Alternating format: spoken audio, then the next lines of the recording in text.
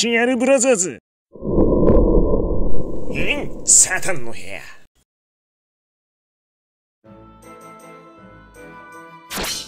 よっけなきゃまあイリアで癖紹介していくってやつだぜさあ前回降臨したイリアだが、まあ、クエストの出来はめちゃくちゃ良かったかなり面白いクエストだったけども、まあ、適正の狭さから残念な感じになっちまってよまあ、問題あった炎上したのかわからないけど、まあ、あれ以来俺結構図鑑とにらめっこして、まあ、いい感じのモンスターを探し当てたのよ。で、その中でも、こいつ使えるって話題になってないやつ。まあ、Twitter とかよ、YouTube 探しに探したら紹介してる人いるかもしれねえが、まあ、俺的に、これはいいんじゃないっていうのを見つけたから、それを紹介していくぜ。で、こいつらの、まあ、共通点が、普段はちょっと足手まとになるかもしれねえが、まあ、一元かけてる。ちゃんと勝利へ導いてくれる才能があるモンスターたちを紹介していくんだけども、まあ、その中でもそういうわけでもないけど、こいつ使えるんじゃゃないかと思ったモンスタースターを1体用意したから、それ氷モンスターで、それまず、そいつから見ていこう。さあ、行くぜ。あの、今回、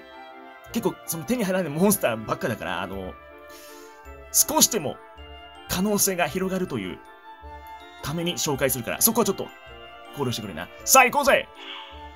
よっしゃ、まずはリリース挑戦紹介させてもらうぜ。で、こいつも確かよ、降臨でもなく、まガチャゲンでもないっていうちょっと夢玉かな。そういう枠なんだけど、一応まあ敵地の幅を広げるために紹介させてもらうぜ。で、こいつのすげえところが、まず侍というところで伊藤貸太郎と同族でワクワクの恩恵を受けることができる。そして、貫通ゲージも OK。で、アンチブロックを持ってる。だが、重力バリア持ってね、どうすんのと思うかもしれねえが、こいつストライクショットがオールアンチで、ターン12、3週に1回重力バリアを無視して、まあ、移動できると。まあ、そのためだけに連れていくと。で、あのクエストは意外と重力バリアが必要ないところもある。まあ、位置によっては絶対にいるところあるんだけども、まあ、そう考えると、うまく立ち回ればあんまり気にならない場合があると。そして友情コンボが反射クロスレーザー L。これであの、友情でしか削れないあいつロボットかな。あれも削ることができると思うし、ラックスギルクリティカルも結構夢がある。まあ、というわけで、まあ、伊藤貸したの厳選してた場合は、いい感じにこいつも上がると思うから、まあ、同族つけてるのかわからないけど、まあ、そこ結構おすすめだぜ。さあ、次見ていこうじゃねえか。で、これがよ、ちょっと一番ぐらい驚いたかな。さっきずっと図鑑見てて、その中でも、まあ、重力バリア最悪いらねえかと思って重力バリアを外して、まあ、光属性の貫通かつアンチブロック持って探してたら、こいついてマジ興奮したわ。で、まずこいつのすげえところが侍で伊藤貸したのと同じ、そしてスピード型がアベルと一緒で、ワクワクの恩恵、受けまくり、そして貫通ゲージ、でリジェネでも OK、で超アンダメージオールもあのバイクのやつが引いた場合回避できる、そして弱点キラーによって、まあ、ワンパンラインめちゃ下がりますよと。で、ワンパンラインは後で解説していくぜ。そしてゲージでアンチブロックも OK。これはなかなか面白い。まあ、こいつに超線形はつけることないと思うけど、意外といい動きをしてくれると。さっき説明した、みんな一元たけてるモンスターを紹介していくというのが、ここなのよ。これがマジでやばい。ストライクショットターン20プラス4の、この触れた仲間のスピードを一定期間アップ。これがやばいんだって、本当に。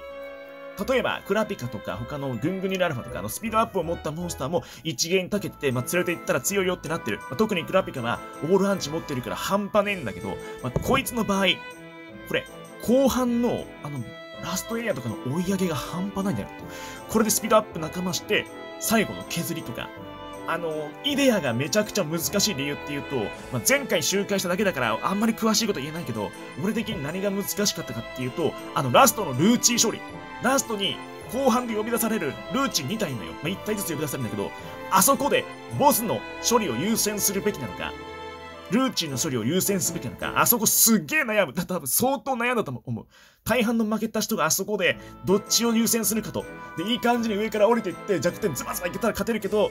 あの、上の、上側に行った場合にゲージを外して、あの上のエリアでボス削ろうと思ってもあんまり削れなかったりするじゃねえか。だから意外と多分次回の降臨時も、まあ明日の降臨時もみんなどうしようか相当悩んでると思うの。俺もあそこの処理本当に悩んでて。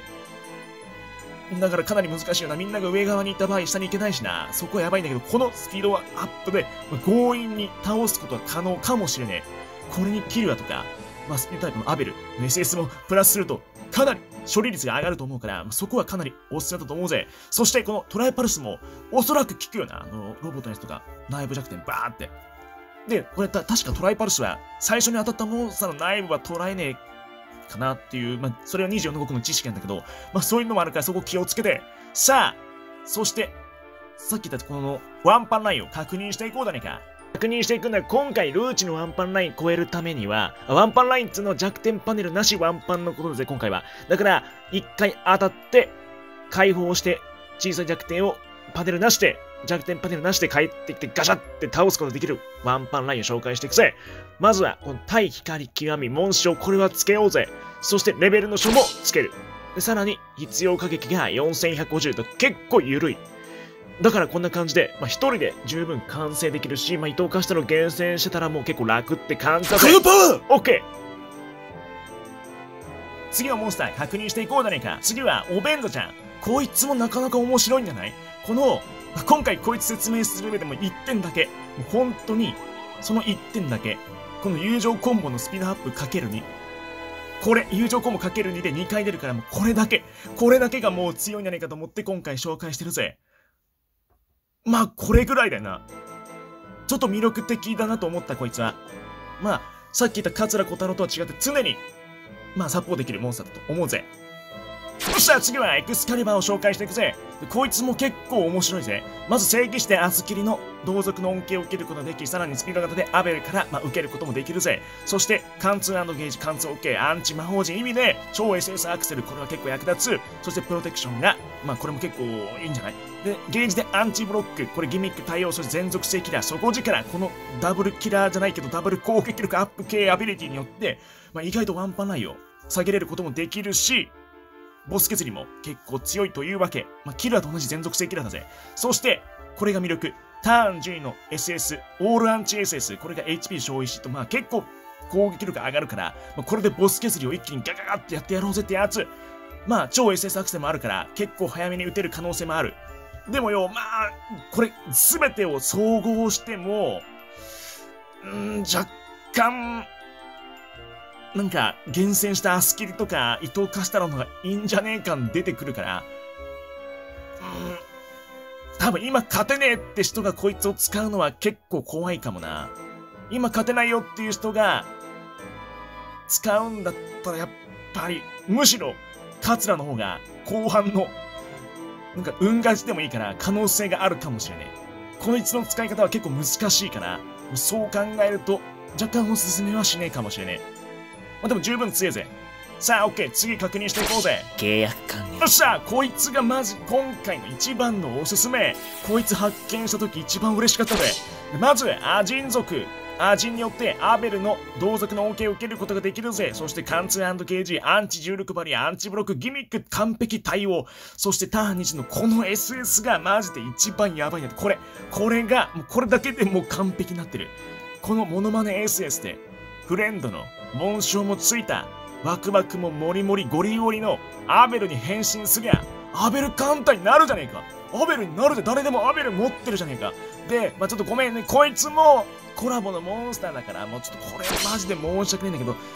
え、いたっけ？他に変身 SS 持ったやついたっけ？普段手に入るモンスター。いな、多分いないかな。変身が大体そういうモンスターばっかりだからな。まあ、まあ、自分が持ってる変身のモンスターで、アベルに変身すりゃいいのよ。まあ、こいつがちょっとギミック対応しすぎてるからこいつを押してるけど、別に誰でもいい。他のアベルに変身できそうなモノマネエセンスを持ったやつで、自分が持ってるモノマネエセンスを持ったやつで変身すりゃいいのよ。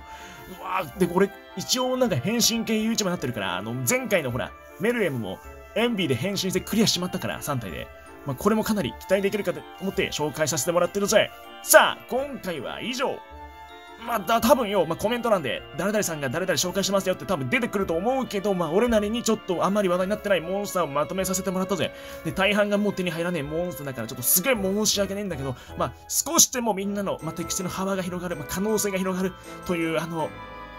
ことに希望を見出していこうぜ感でやってるから、そこはちょっと許してくれよな。まあ、ちょっと、正直よ、あの、モンスター、つかもクエスト、難しいクエスト作ってくれるのはいいんだけど、適正の狭さで難しいクエストとして出すのは良くないよな。